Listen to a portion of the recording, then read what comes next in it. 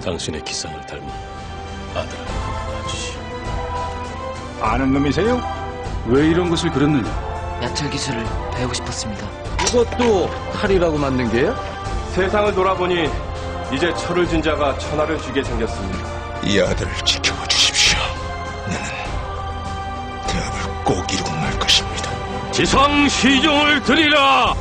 나 살고 싶어요. 안 돼!